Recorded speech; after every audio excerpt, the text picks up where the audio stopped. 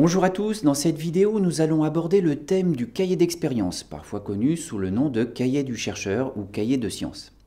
Nous avions déjà évoqué le sujet dans la vidéo sur la démarche d'investigation, mais sans entrer dans les détails. Je vous propose donc de vous montrer dans un premier temps ce qu'est concrètement un cahier d'expérience et euh, les grands principes qui régissent son utilisation. Puis nous verrons tout l'intérêt de l'écrit dans une démarche scientifique, qu'elle se passe dans une classe ou dans un centre de recherche.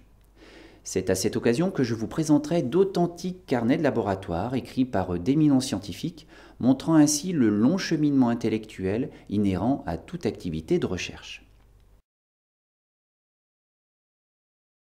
Dès 1998, le cahier d'expérience est évoqué dans la charte de la main à la pâte.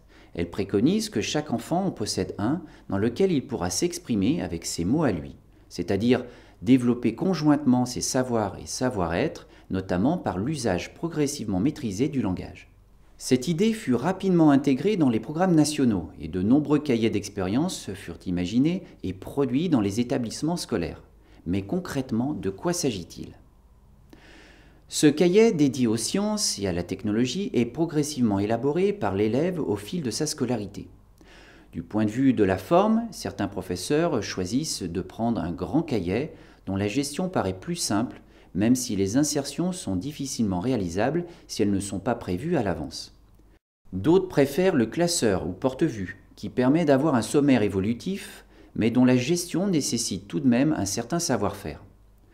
D'autres encore travaillent à partir de feuilles qui sont regroupées dans une pochette à la fin de chaque séance, puis une fois la séquence terminée, ils relient l'ensemble des feuilles ou une sélection de celles-ci afin de former un cahier. Il est vrai qu'au vu du nombre de thèmes abordés en sciences, un seul cahier ne suffira pas pour toute la scolarité. Vous pourrez donc décider d'utiliser un cahier par cycle ou tranche d'âge, tout en gardant une cohérence de mise en forme au sein de l'école ou de l'école et du collège. Ce sera aussi à vous de décider des éléments de structuration, par exemple écrire la date, ajouter des titres, choisir des pictogrammes, inclure un sommaire ou une table des matières. Vous l'avez compris, dans ce cahier sera regroupé l'ensemble des activités scientifiques pratiquées en classe. Ces dernières reposent sur quelques principes qui sont les fondements de l'enseignement des sciences basées sur l'investigation. Cette pédagogie active propose des séances favorisant le travail collaboratif, le questionnement, l'observation, l'expérimentation et le débat scientifique afin que les élèves accèdent à de nouveaux savoirs. Il faudra donc que le cahier d'expérience témoigne de tout ce cheminement. Pour chaque thème abordé, on devra alors voir la phase de découverte, qui est là pour stimuler et alimenter la curiosité, ainsi que pousser les élèves à se questionner. Généralement, la classe réagit à une observation ou à une expérience surprenante, ou encore à un événement qui s'est produit, comme c'est le cas ici pour une éruption volcanique. On pourra ainsi obtenir des élèves leur représentation initiale à travers des dessins, des schémas, des explications à base de mots isolés ou de phrases complètes et garder toutes ces traces dans le cahier. Viendra ensuite la formulation d'hypothèses faites individuellement ou en groupe. Là apparaît un aspect important de la présentation dans le cahier d'expérience. En effet, les activités scientifiques sont illustrées sous forme d'écrits personnels et d'écrits collectifs, validés par la classe et la science. Ce sera donc nécessaire de distinguer les deux pour faciliter la lecture a posteriori et aider l'élève à se repérer. Plusieurs solutions peuvent être envisagées, la première étant de modifier la couleur de la feuille en fonction des modalités de production des écrits, qu'ils soient individuels, en petits groupes ou en classe entière. Une autre possibilité, moins coûteuse, est d'utiliser différentes couleurs de crayon ou de stylo. Enfin, certains choisiront d'utiliser les pages de gauche pour les productions ou apports individuels et celles de droite pour les parties collectives.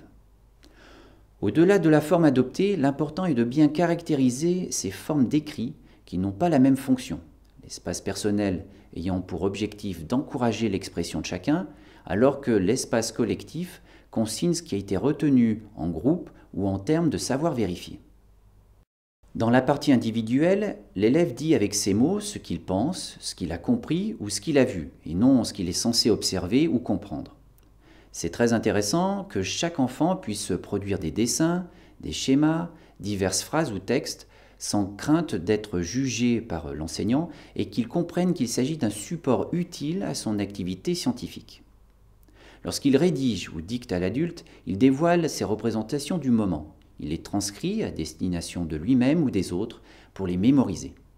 C'est vraiment lorsque l'élève appose librement sa représentation du monde que l'on pourra faire avec, c'est-à-dire s'appuyer dessus dans un premier temps, pour les faire évoluer ensuite. Cette liberté implique qu'on lui donne le droit de se tromper sur la forme, cela peut être des approximations syntaxiques ou erreurs orthographiques, comme sur le fond, avec cependant l'exigence de suivre la consigne qui lui a été donnée et d'essayer, au moins pour les plus grands, de s'exprimer lisiblement et clairement de manière à pouvoir être relu. Gardez bien à l'esprit que l'écrit personnel pousse peu à peu l'élève à se décentrer, à mieux organiser sa pensée pour se faire comprendre et à développer des raisonnements avec un degré croissant d'objectivité et de précision. Parallèlement à cela, le cahier comporte aussi une partie collective qui recouvre des modalités différentes d'organisation de la classe, telles que des travaux en petits groupes ou en classe entière. Pour le travail en groupe, il s'agit le plus souvent d'écrits intermédiaires, qui ont pour vocation de communiquer aux autres l'activité scientifique du groupe. Dans le cas de la formulation d'hypothèses, les élèves doivent se mettre d'accord sur des propositions de solutions pouvant être raisonnablement envisagées et testées. Le groupe d'élèves propose alors une méthode s'appuyant sur des observations, de la documentation, de l'expérimentation ou de la modélisation. Une fois tout cela réalisé, chaque groupe analyse ses résultats et en tire des conclusions, avec l'aide du maître parfois. Cet écrit doit donc être davantage travaillé sur sa forme et ne devrait théoriquement plus comporter d'erreurs syntaxiques ou orthographiques. En revanche, il peut encore contenir des biais de raisonnement, des schémas incomplets ou des analyses peu pertinentes. Ce sera donc important de le distinguer visuellement du travail fait par la classe entière. En effet, lors des mises en commun, le groupe classe apporte un regard critique sur les hypothèses, les protocoles expérimentaux et l'exploitation des résultats obtenus. Avec la médiation et le guidage structurant du professeur, des synthèses sont réalisées collectivement et peuvent être ensuite confrontées ou comparées au savoir établi. Le niveau d'exigence des écrits doit être alors maximal, tant sur le fond que sur la forme, car ces écrits peuvent être à présent communiqués à l'extérieur de la classe et mémorisés par les élèves. C'est de cette manière que l'élève acquiert un nouveau savoir qu'il pourra toujours comparer à ses représentations antérieures et se projeter sur de nouveaux horizons de recherche.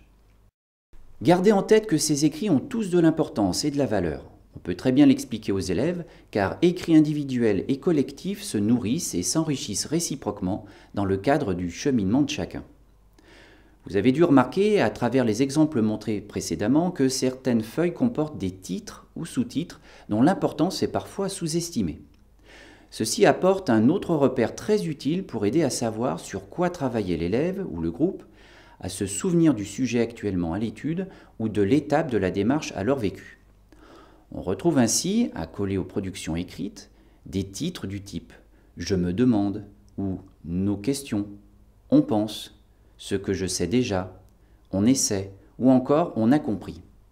La seule vigilance à adopter à ce sujet est de ne pas rigidifier la démarche en formatant dès le départ une fiche toute prête avec l'ensemble du cheminement présupposé de l'élève sans associer l'élève lui-même. Il faudra donc accompagner les élèves de la classe en veillant à ce que les titres choisis des rubriques correspondent bien à l'activité menée et ce qu'ils en ont compris.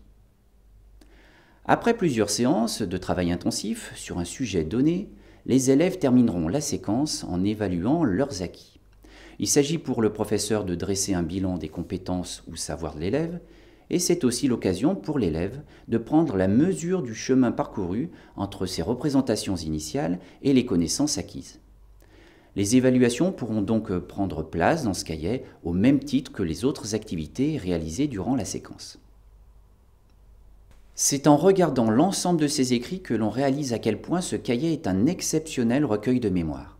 Il est le témoin du raisonnement qui s'est opéré et des discussions et débats qui ont été partagés au sein de la classe. Les retours a posteriori sur une séquence font prendre conscience de l'évolution de la pensée, mais aussi de la construction du savoir en science, comme en témoignent les hypothèses émises, les essais, les erreurs ou les résultats parfois surprenants qui poussent à se questionner à nouveau. C'est ici qu'entre en jeu la notion d'échange avec soi-même et les autres. Pour faciliter ce dialogue, il sera nécessaire de prévoir des temps en classe où l'élève est autorisé à prendre son cahier, soit pour le feuilleter seul, soit pour le commenter et réévoquer les activités vécues avec ses camarades ou le professeur. Il sera très intéressant aussi de communiquer cet outil à l'extérieur de la classe, notamment auprès des parents. L'idéal serait même d'expliquer en amont aux parents d'élèves la nature et l'intérêt de ce cahier et de l'enseignement des sciences par investigation.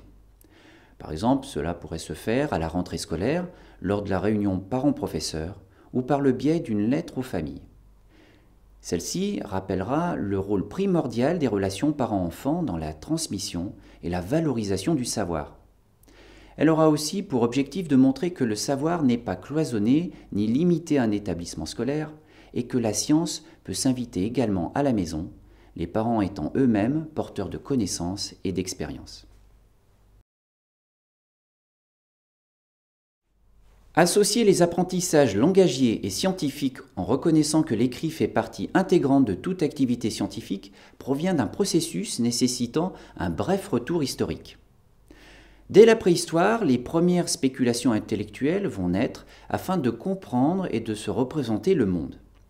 Ce n'est qu'avec l'écriture et ses fonctions de mémoire et de transmission que les grands savants de l'Antiquité eurent plus de facilité à mettre en relation des savoirs et des découvertes éparses pour atteindre une connaissance toujours plus fine de notre monde.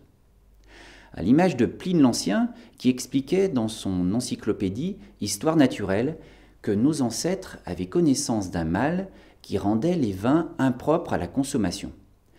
Ceux-ci finirent par trouver une solution en chauffant suffisamment le vin afin de le préserver de toute amertume. Nous sommes bien loin alors d'une démarche scientifique et il fallut attendre près de 2000 ans pour que Louis Pasteur prenne connaissance de ce savoir écrit et transforme cette antique recette en un procédé scientifique de conservation, la fameuse pasteurisation.